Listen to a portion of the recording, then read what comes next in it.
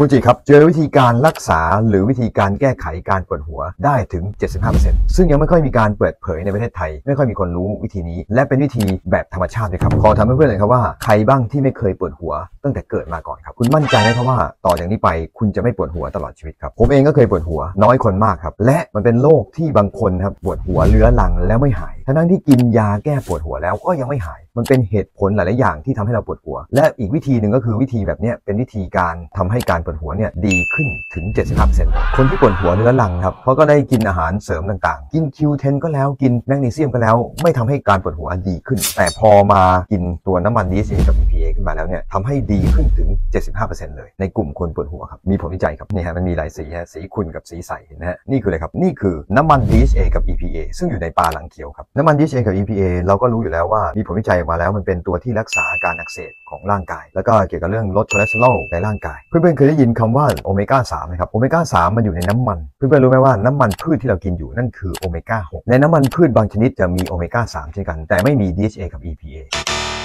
นี่ก็คือโอเมก้า3เหมือนกัน แต่เป็นโอเมก้า 3 ชนิดที่มี DHA กับ EPA ซึ่งอยู่ในปลาหลังเขียว และไม่มีอยู่ในพืชอ้าวถามว่ามันอยู่ในเนื้อวัวหรือเนื้อหมูไหมไม่มีในเนื้อหมูและไม่มีในเนื้อวัวครับ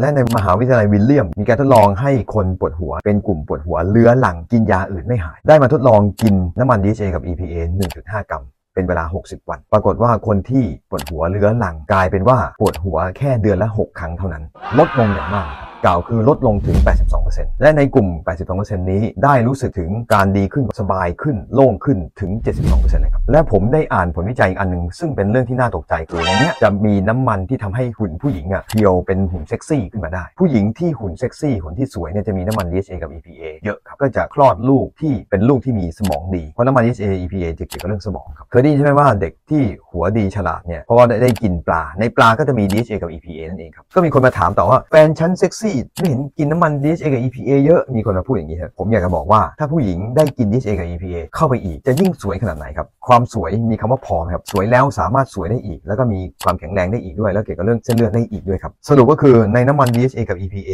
มันช่วยเกี่ยวกับเรื่องการอักเสบ และเกี่ยวกับเรื่องพวกคอเลสเตอรอลนะมันเป็นตัวที่ช่วยล้างคอเลสเตอรอลเนี่ยที่อยู่ในเส้นเลือดออกไป ดังนั้นก็ทำให้การไหลเวียนของเลือดดีขึ้น ก็ทำให้การปวดหัวน้อยลงเป็นธรรมชาติเลยครับแล้วก็มีผลวิจัยที่ผมเคยเล่ามาหลายครั้งขอเล่าอีกทีเผื่อเป็นประโยชน์สำหรับบางคนที่ยังไม่ได้ฟังนะครับก็คือว่าประเทศที่มีโรคสมองอุดตัน หรือเป็นโรคหัวใจอุดตันเป็นโรคเส้นเลือดต่างๆเนี่ยก็เพราะว่ากินเนื้อหมูเนื้อวัว และก็น้ำมันพืชเยอะเกินไปทำให้เส้นเลือดอุดตัน ทำให้เป็นคอเลสเตอรอลสูง ผลวิจัยก็มีครับว่าประเทศที่กินปลาหลังเขียว หรือมีน้ำมัน DHA กับ EPA เยอะเนี่ยนะจะเป็นประเทศที่มีประชากรเป็นโรคสมองอุดตัน เป็นโรคหัวใจอุดตัน เป็นโรคเส้นเลือดเนี่ยน้อยมาก ซึ่งในปัจจุบันนี้ประเทศไทยเป็นกันเยอะมากนะครับดังนั้นรวมถึงโรคปวดหัวด้วยครับก็มีคำถามต่อยครับว่า วิธีการหาน้ำมัน DHA กับ EPA เนี่ยหากินเนี่ยเป็นยังไงบ้างครับในนี้ครับมีผลวิจัยครับว่าวิธีเลือกน้ำมัน DHA กับ EPA ต้องระวังครับเพราะในอาหารเสริมจะมี DHA กับ EPA ซึ่งมีการเกิดการออกซิเดชันก็คือเกิดการเสียเกิดเน่าทำให้เกิดการอักเสบมากขึ้นทำให้ป่วยมากขึ้นถึง 40 เท่าเลยครับเรารู้ว่าดีแต่ว่าเราต้องเลือกซื้อ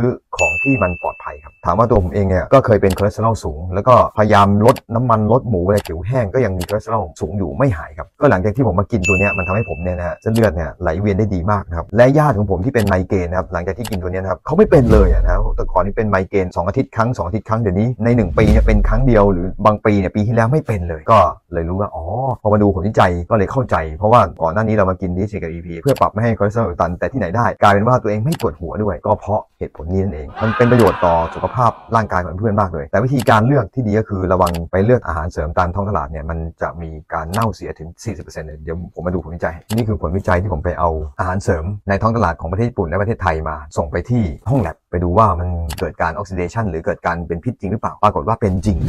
เป็นเยอะเลยนะฮะแล้วก็ น่ากลัวเหมือนกันนะเนี่ยเรากินอาหารเสริมที่เป็น DHA กับ EPA แต่มันก็มีพิษอยู่ในร่างกาย กินเข้าไปก็มันทำให้เราเกิดผลข้างเคียงทำให้เราป่วยมากขึ้นทำให้เราแก่มากขึ้นหาซื้อกินที่ไหน ผมก็ต้องบอกอีกครับว่าคือไอ้ตัวนี้ที่ผมหาซื้อกินซึ่งตัวเนี้ยมันมีข้อดีอีกอย่างเลยนะ ก็คือมี DHA กับ EPA แล้วก็มี น้ำมันข้าว ซึ่งเป็นตัวผสมไม่ให้เกิดการเน่าเสียง่ายๆนะครับให้มันเป็นธรรมชาติบวกกับอีกตัวนึงก็คือตัวที่ชื่อว่านัตโตกินาเซเป็นตัวที่ทำให้เส้นเลือดเนี่ยยืดหยุ่นได้ดีต่างหากนะครับมันก็เลยทำให้ช่วยเรื่องการไหลเวียนของเลือดด้วยและช่วยของการเส้นเลือดด้วยนะก็การซื้อสรุปนะครับว่าการซื้ออาหารเสริมต่างๆเนี่ยต้องระวังนะครับต้องมีผลวิจัยของการดูว่ามันเกิดการเสียหรือเปล่าถ้าเสียก็คือจะทำให้เราเกิดพิษทางร่างกายได้นะครับกินอาหารเสริมที่ดีนะครับต้องรู้ว่าผลวิจัยของเขาว่ามันเป็นพิษหรือไม่เป็นพิษครับแล้วก็ในอาหารเสริมก็มีหลายสีด้วยนะครับกินของดีเราต้องเรียนรู้วิธีการเลือกกินของดีครับ เพราะเรารู้อยู่แล้วว่าในร่างกายเราปัจจุบันนี้นะเราขาด DHA กับ EPA ซึ่งร่างกายเราผลิตเองไม่ได้ครับกินผักก็ไม่ได้ไม่อยู่ในผักนะครับกินหมูกินเนื้อก็ไม่ได้ครับมันอยู่ใน DHA กับ EPA ซึ่งร่างกายเราต้องการอยู่แล้วครับถึงขนาดในนมของมารดา